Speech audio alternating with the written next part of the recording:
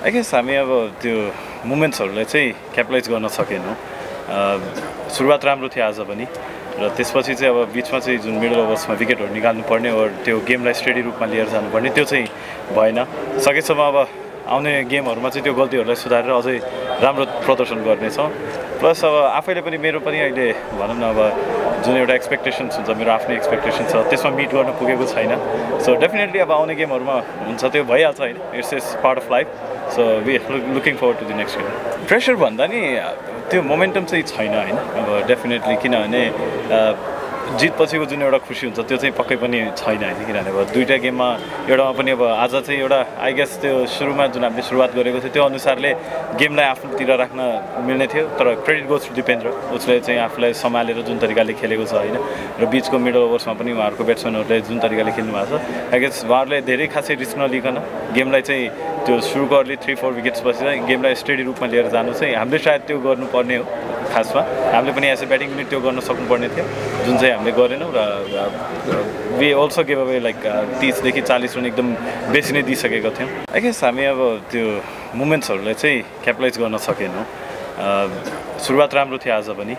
र त्यसपछि चाहिँ अब बिचमा चाहिँ जुन मिडल ओभर्समा विकेटहरू निकाल्नु पर्ने और त्यो गेमलाई स्टेडी रूपमा लिएर जानुपर्ने त्यो चाहिँ भएन। सकेसम्म अब आउने गेमहरूमा चाहिँ त्यो गल्तीहरूलाई सुधारेर अझै राम्रो प्रदर्शन गर्नेछौँ। प्लस अब आफैले पनि मेरो पनि अहिले भनौँ न अब जुन एउटा एक्सपेक्टेसन्स हुन्छ मेरो आफ्नै एक्सपेक्टेसन छ त्यसमा मिट गर्न पुगेको छैन।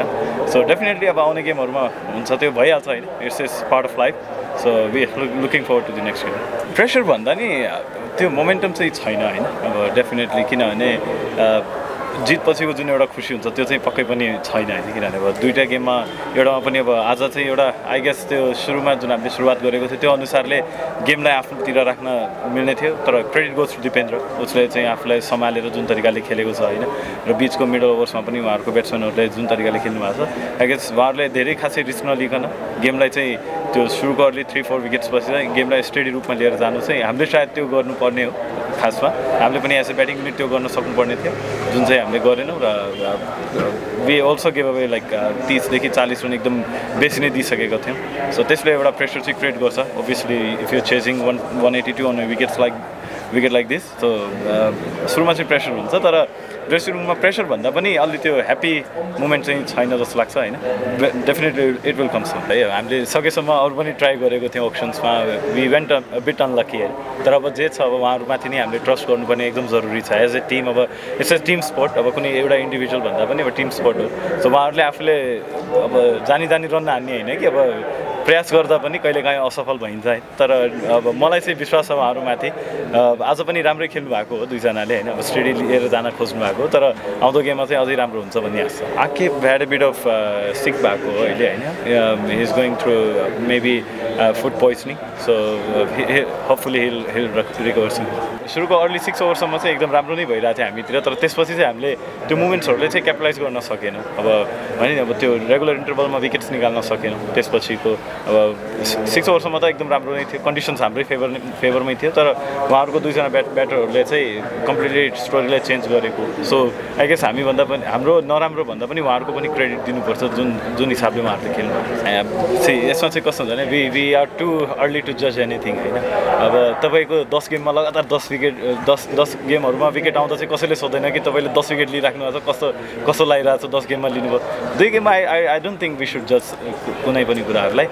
अभियसली अब टिमले एक्सपेक्ट गर्छ टिमले एक्सपेक्टेसन्स गरेको अनुसारले अब मैले कुन सिचुएसनमा बोलिङ गरिरहेको छु त्यो सिचुएसन्सहरूमा विकेट निकाल्नु उचित छ कि त्यो सिचुएसनमा रन रोक्नु उचित छ होइन? त्यो पनि अब तपाईँहरूले अब सबैले क्रिकेट बुझेको अनुसारले त्यो पनि बुझ्नु जरुरी छ। सो कहिलेकाहीँ भइहाल्छ त्यो अब विकेट निकाल्नु पर्ने मेरो काम हो। अब ननिस्केको खण्डमा सकेसम्म रन कसरी रोक्न सकिन्छ त्यो पनि ट्राई गर्छु। अब हेर्नुहोस् रन नभन्दा सबै कुराहरू त्यस्तै देखिन्छ है। रन नभन्दा चाहिँ क्लिक नभएको देखिन्छ तर अब रन बनायो भने त्यो सबै कुराहरू ठिक देखिन्छ। अब होपफुली अब it will remain a bit similar नै अब आउने समयमा अब सबैले इनिसिएट लिनुपर्ने हुन्छ। अब when we are playing a tournament like this अब हामीले we need to find a way कि कसरी वान सिक्सटी वान सेभेन्टी पनि चेज गर्नुपर्ने हुन्छ। कसरी चे चेज गर्न सक्छौँ? Or when we are defending one forty one thirty कसरी यो बोलिङ एट्याकले हामीले डिफेन्ड गर्नुपर्ने हो? त्यो पनि हामीले अब यहाँबाट चाहिँ जति छिटो यो कन्डिसनमा एड्याप्ट भयो त्यति नै राम्रो प्लान्सहरू चाहिँ इम्प्लिमेन्ट गर्दा कहिलेकाहीँ झुकिन्छ अब त्यो प्लानहरू भइराख्दैन इम्प्लिमेन्ट पनि भइराख्दैन। अब त्यो चाहिँ यदि सजिलो त नभनौँ अब प्रोफेसनल क्रिकेट खेलेपछि त अब त्यो कन्डिसन्सहरूलाई चाहिँ बुझेर अगाडि बढ्नु जरुरी छ। के होइन अब एक म्याच अब फर्स्ट म्याच जितिरहेको छ अब बाँकी म्याचहरू छ। अब राम्रो गर्दै जानु।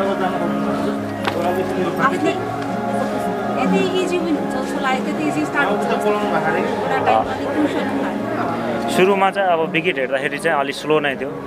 सो त्यही अनुसारले हामीले प्लान गऱ्यौँ। र यति स्कोरसम्म जान्छौँ हामी भनेर। वान वान फिफ्टी एबभ गऱ्यो भने हामी जित्छौँ भनेर सोचिरहेको थियो। त्यही प्लानमा गएँ। अनि एन्डमा चाहिँ राम्रो पिच अलि राम्रो खेलेर रन्सहरू भयो। त्यो त्यही भएर इजी नै भयो। ब्यालेन्स अब त्यस्तो खासै गाह्रो त छैन। अब जो जसलाई खेलाए पनि अब स्क्वाडमा पछाडि पनि राम्रै छ। अहिले पनि राम्रै खेलिरहेछन्। अब जसलाई खेलाए पनि त्यही हो अब हिँड्दै हिँड्दा अब म्याचमा कसले राम्रो गर्छ भने सिचुएसन अनुसार हो अब कहिले चाँडै पनि आउन सक्छु कहिले पछाडि पनि आउँछ पर्फर्मेन्स अब सुरुमा चाहिँ अब विकेट स्लो थियो र त्यही अनुसारले अब सिङ्गल डबल रोटेट गरेँ र पछि अब इन्डमा चाहिँ अब राम्रो अब लाग्यो भनौँ न। त्यो अलवेज अब दर्शकको उसमा खेलिरहेको म जहिले पनि अब दर्शकलाई देखेँ भने चाहिँ मोटिभेट नै हुन्छ। एकदमै राम्रो फर्स्ट अफ अल त सबैलाई धन्यवाद दिन चाहन्छु किनभने यस्तो माहौल भयो भने क्रिकेटको लागि अझै अगाडि राम्रो हुने हुनेछ। सो एनपिएलले एकदमै राम्रो गराइरहेछ। क्यानलाई पनि धन्यवाद दिन चाहन्छु र सपोर्टर्सहरूलाई अब यस्तै गरी हामीलाई सपोर्ट गर्नु होला क्रिकेटमा र हामी आगामी दिनहरूमा राम्रो गर्नेछौँ। माइन्डमा प्रिपेयर चाहिँ थिएँ टस हारेपछि ब्याटिङ नै आउँछ भनेर। सो त्यो अनुसारले टिममा प्रिपेयर थियो। हामीले टस जित्यो भने चाहिँ छुट्टै कुरा हुन्छ अब टस हाऱ्यो भने चाहिँ ब्याटिङ एज अ पहिला चाहिँ सुरुमा ब्याटिङै गर्छौँ भनेर सोचिरहेको थिएँ। त्यो टस हाऱ्यो भने सुरुमा। आई थिङ्क स्टार्ट राम्रै पाएको ब्याटिङ वाइज होइन? तर हाम्रो अब फरेन प्लेयर्सहरू अलि यो विकेटमा होइन?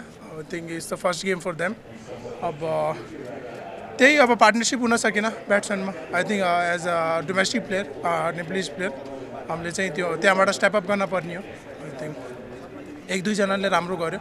थिङ्क फिनिस त्यस्तो हुन सके छैन। तर I think first game I think foreign players plus domestic players सँगै हुँदा चाहिँ आई थिङ्क अब नेक्स्ट गेममा we will come back better I I think हामीले त केही भन्न सकिन्न अब कस्तो छ अब बिचमा जो हुन्छ अब त्यसको डिसिजन हो। आई थिङ्क बाहिर आएर अब आउट भएपछि अब केही भन्न मिलेन। आई थिङ्क त्यो सोच्ने कुरा हो अगाडि नै सोच्ने कुरा हो। I think as a batsman अब सबैको आफ्नो आफ्नो डिसिजन हुन्छ। आई थिङ्क अब भीमले त्यही राम्रो लायो होला त्यही गो टु सट लायो होला त्यसको। आई थिङ्क अब त्यसको बारेमा चाहिँ आई थिङ्क केही भन्न सकिनँ प्लेयर आई थिङ्क गाह्रो त हामीले त्यस्तो सोचेको थिएन। I think around one fifty one sixty चाहिँ हामीले जे होस् विकेट नगएको भए त आई थिङ्क हामीले त्यहाँसम्म पुग्न सक्थ्यौँ। आई थिङ्क सुरुमा विकेट जाँदा चाहिँ हामीले त्यस्तो पार्टनरसिप गर्न सकेन। आई थिङ्क त्यो एउटा पार्टनरसिप चाहिँ एकदम इम्पोर्टेन्ट थियो। आई थिङ्क एउटा फरेन प्लेयर प्लस एउटा डोमेस्टिक प्लेयर आई थिङ्क त्यहाँबाट स्टेपअप गर्न पर्ने थियो। आई थिङ्क त्यही आई थिङ्क पार्टनरसिप चाहिँ मिस भयो। आई थिङ्क अब फरेन प्लेयर्सको अब कस्तो छ भने अब पाँचजना नै अब टिममा छ होइन? आई थिङ्क त्यसमा पनि अनि डिसिजन लिन गाह्रै हुन्छ। आई थिङ्क सबैजना राम्रो छ होइन? त्यो कन्डिसनको हिसाबले पनि राम्रो छ। आई थिङ्क हाम्रो चाहिँ बलिङ एट्याक राम्रो हुँदा चाहिँ हामीले चाहिँ ब्याट्सम्यान चाहिँ हामी अगाडि गएको थिङ्क अब तिनीहरूको लागि पनि फर्स्ट गेम थियो।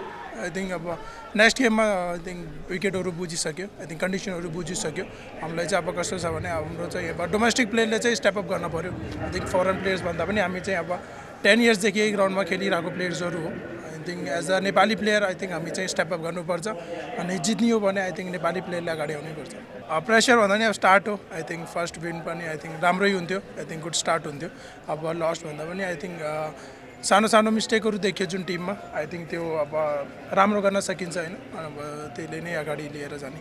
आई थिङ्क पिच चाहिँ अब त्यो टिपिकल नेपाली विकेट नै हो। आई थिङ्क स्पिनर्सहरूलाई हेल्प हुने अनि अलिकति स्लो होइन। अब हार हो सबभन्दा त्यो चाहिँ दोहोऱ्याउनु हुन्न होइन। सबभन्दा ठुलो कुरो। त्यसपछि चाहिँ आई थिङ्क मिस्टेक्सहरू भएको छ ब्याटिङ पार्टनरसिपहरूमा आई थिङ्क त्यहाँ आई थिङ्क हामी स्टेपअप गर्छौँ अनि अगाडि बढ्छौँ। आई थिङ्क सबैजना मिलेर कुरा गरेर आई थिङ्क हामी कहाँ कहाँ चुक्यो भनेर। त्यो चाहिँ कुरा गर्ने?